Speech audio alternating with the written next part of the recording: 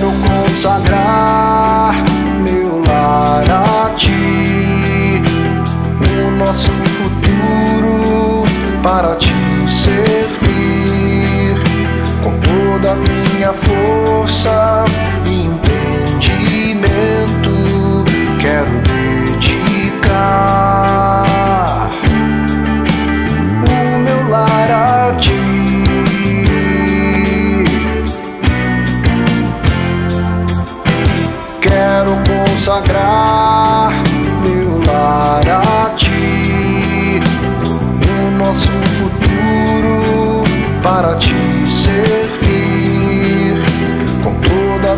Força entendimento.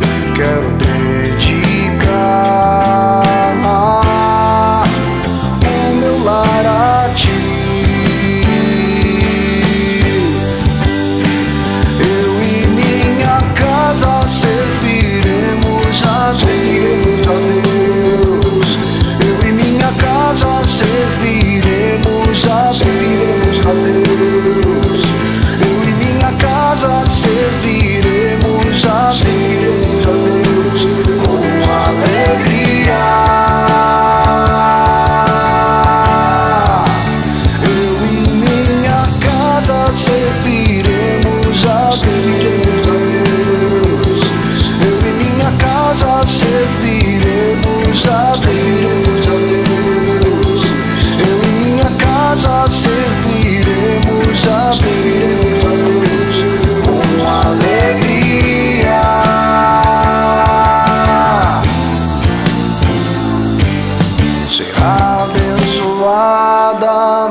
Minha descendência, frutificará a tua presença